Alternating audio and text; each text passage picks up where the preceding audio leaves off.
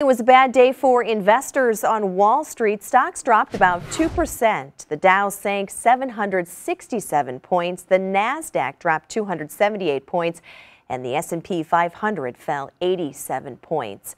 All right, though, to give you a little perspective on the markets, we wanted to give you a look at where today's closing stands compared to earlier this year and just one year ago. Take a look here. As you see, the Dow closed today at 25,717 and that is still up nearly 3,000 points from the start of the year, and it is still up slightly from one year ago.